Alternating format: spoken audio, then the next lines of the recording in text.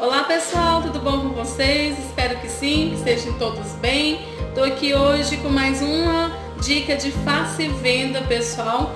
Uma sobremesa dois amores, brigadeiro de ninho com ganache ou brigadeiro de chocolate, né pessoal? Delicioso, muito simples, muito fácil. Hoje eu vou ensinar vocês a montar essa sobremesa esse recheio, pessoal, já tem no canal. Vou deixar o link aqui para vocês acessar para saber como fazer ele. E aqui, meu, esse, de hoje é só uma dica para você montar essa sobremesa.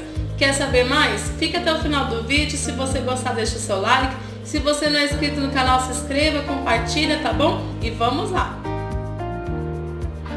Aqui, pessoal, a gente vai estar tá usando para essa receitinha granulados, né, para a gente decorar.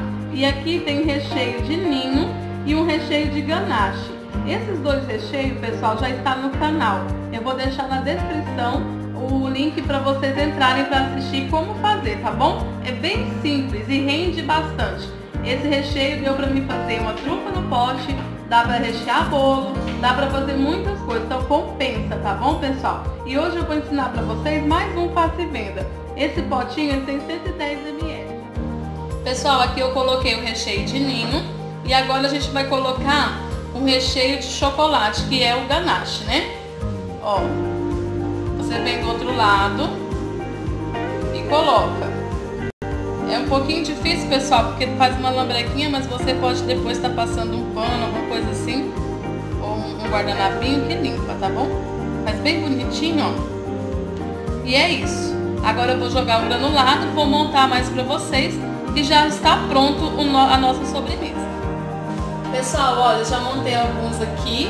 Você pode fazer vários tipos de decorações, você pode pôr um granulado, você pode pôr um morango, ou você pode nem pôr nada, porque só desse jeito já chama muita atenção. Então, eu, eu te indico a fazer, é uma renda boa, todo mundo ama, né? Porque no caso é uma sobremesa dois amores, brigadeiro de ninho e chocolate. Pode ser também o brigadeiro de chocolate também, pessoal. É delicioso, saboroso, econômico e rende bastante. É uma dica que eu deixei para vocês hoje. Espero que vocês gostem. Se você gostar, deixe seu like. Se não é inscrito no canal, se inscreva. Até o próximo vídeo. Tchau, tchau!